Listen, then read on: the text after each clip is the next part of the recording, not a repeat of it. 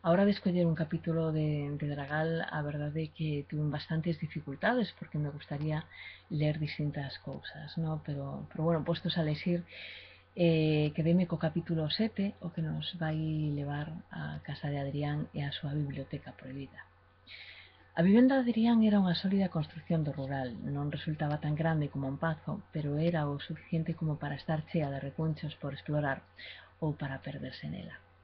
Como correspondía unha casa de labranza do século XIX, remodelada en varias ocasións ao longo do tempo, na planta baixa situábanse a cociña, o comedor e os distintos cuartos que foran utilizados no seu momento como almacén de apeiros, taller garaxe e incluso un cortello para un par de porcos. No primeiro andar había ata media dúcia de estancias, moitas delas en abril dende había anos.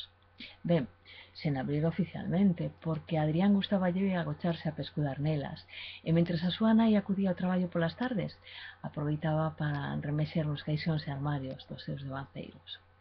Na casa aínda conservaban algúns obxetos dos primitivos moradores, antigallas que para o rapaz eran verdadeiros tesouros. Pero a estancia máis curiosa, a que máis lle gustaba, era a antigua biblioteca. O seu bisavó reservara o cuarto máis grande e luminoso para albergar aquela cuidada colección de libros, moitos deles extraños exemplares traídos das súas viaxes por afastadas terras. Era aquel un aposento con dúas grandes cristaleiras que permanecían tapiadas dende había anos, con enormes taboleiros de madeira cravados á parede. Naquel cuarto estivera terminantemente prohibida a entrada a calquera outro membro da familia que non contase co permiso expreso do bisavó.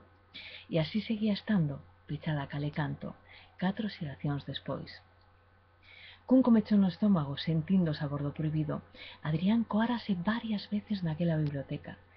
Conseguira entrar logo de atopar aquela chave, enorme e chea de ferruxe no interior dun traballado estoxo de coiro que a súa nai guardaba no fondo dun caixón, na mesa de noite do seu cuarto.